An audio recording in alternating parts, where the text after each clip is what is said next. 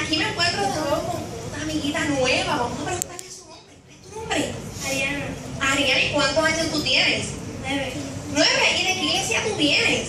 Iglesia Cristiana Unida, ¿Y qué tú vas a estar haciendo el día de hoy con nosotros? cantando, Cantando. ¿Y qué tú vas a cantar? acércame. Acércame. ¿Y ya tienes todo listo? ¿Está todo preparado? Sí. A ver, te doy los micrófonos y te digo adelante, sí.